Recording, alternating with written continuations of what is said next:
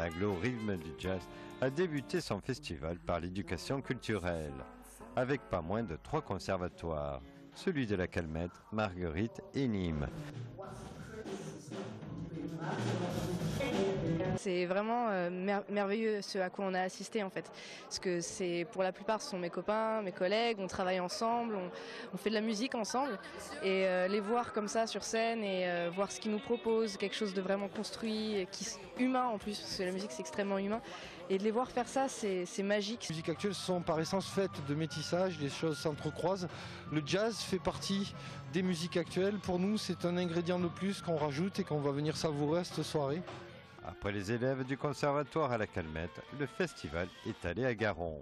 À l'affiche ce samedi soir, c'est Tania Maria, pianiste et vocaliste.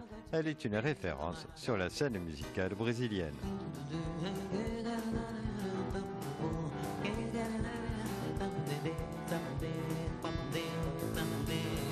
Connaissait déjà, donc c'est pas. Si, ça reste une surprise parce qu'elle a évolué, mais c'est toujours aussi magnifique. Pour moi, je trouve que vraiment elle tient la baraque et qu'elle assure comme une bête et je me rendais pas compte de sa qualité de pianiste à ce point.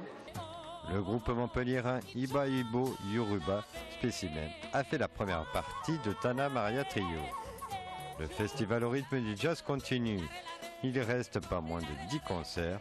Le dernier aura lieu le 21 octobre.